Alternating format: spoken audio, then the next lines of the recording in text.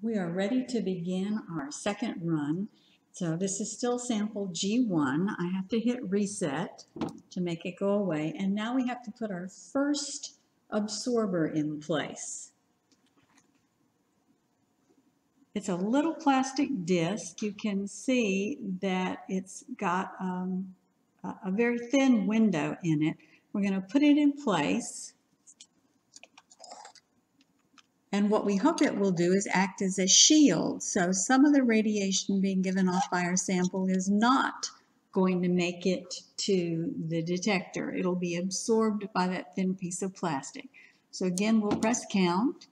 It'll run for a minute and then automatically stop itself. And then we'll do a total of three runs with absorber number two in place.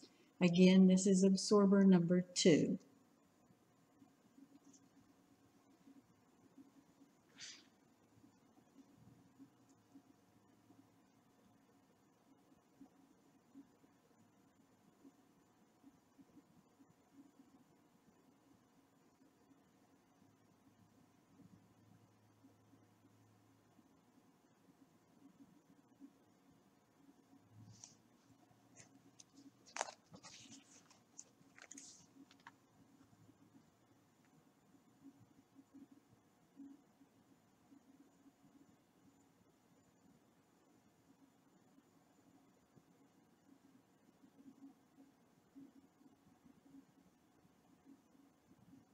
It stopped. Our value is 1793.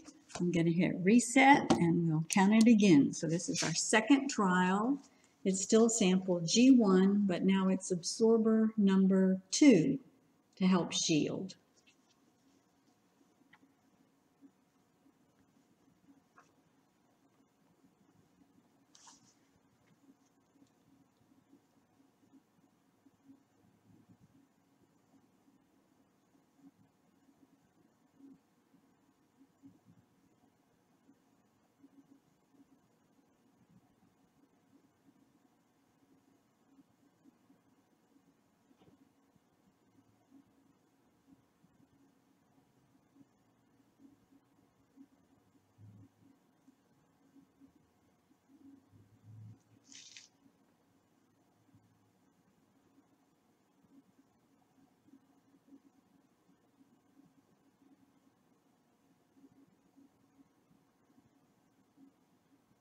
So our second run has stopped. It's 1796. We'll hit reset and count. This will be our last run for sample G1 with absorber number two.